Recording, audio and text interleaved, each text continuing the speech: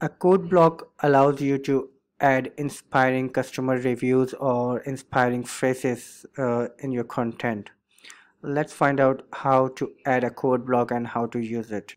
To add a quote block, you can either click on this add block inserter button and search for the quote block and it gives you two options mainly unless you are you have any additional plugin installed so this one is the main quote block so there you go. You can write your quote here.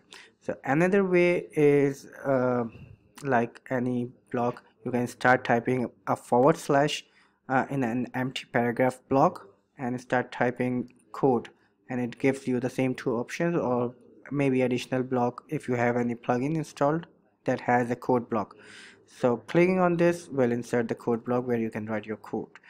But there is another way as well which is uh, very useful if you are writing your content and simply hit enter and want a parrot a quote here. So what you can do is write this uh, symbol which is a greater than sign and hit space. And this is the markdown techniques which converts the paragraph block into a quote block so you can easily write your content. So this way you don't have to either go to the inserter or writing uh, a forward slash you just need to hit this symbol and space. That's it. So these are few ways you can add a quote block in the Gutenberg editor. Now let's explore what options we have for the quote block in the block toolbar and in the sidebar. So first we'll explore the toolbar. In the toolbar we have these options as you can see uh, the first two options are standard for every Gutenberg block where the first one is the transform option. Uh, this this one gives you two things transform two options so to which we can transform this quote block to and some styles available for this quote block. Now the styles may differ uh, depending on the theme or any additional plugins you are using that that may be registering uh, additional styles. So this may differ. By default there are these two uh, styles at the time of recording this video. So let's first explore what the transform to option does. The transform to option basically allows you to convert a block type into another. So if I hit paragraph it converts the quote my quote block to a paragraph like this. So let's convert it back to a quote. And if I, I write name here as well. So let's see what happens if I transform it to a paragraph now. So basically it converts the uh, the quote itself and the citation to individual paragraph blocks. So this is what the transform option does. I'll just undo this change. And there are other options to transform to as well. For example a headline a pull quote and a group and a list. So you can play around with this as well. The next option is the style options which can there are two styles which converts the uh, design of the quote block to another style which is available. There are two styles. One is one looks like this and another looks like this as you can see.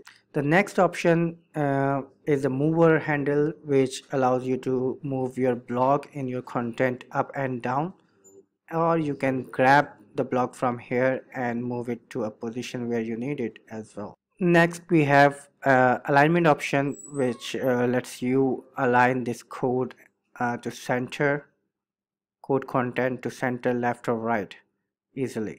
Then we have some formatting options like you can make some content uh, for example highlight this text and make it bold italic or even link complete or part of the text to some internal page or external link like uh, search for the sample page. Uh, so it gives you the options for internal pages. You can just click it and it links it to the that particular page. Now when you click it back on this particular part of the text it shows you what options you have selected for this. So you can undo any options for you make sure you highlight the text so you can undo italic bold etc and unlink it as well. Okay next we have some hidden options available under this menu this little arrow which allows you to in insert an inline code an inline image or make some text strikethrough style or add some make some text a part of the text subscript superscript.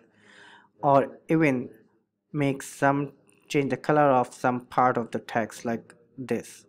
So this is this option these options are available for some more blocks as well like paragraph headline and some more blocks. Now let's have a look to what we have in the sidebar for this uh, quote block. So we have two styles which were also uh, styles are also can be changed from the sidebar either or from this menu here as well. Though you can change the style uh, and see all the available styles from either the sidebar or from this option whatever you like to work with. And that's it. There are uh, not much uh, other options for the quote block in the sidebar. The advanced panel is what it is uh, standard for all the core blocks and even all the third-party blocks. You are able to assign an additional css class or make this block or div and html anchor.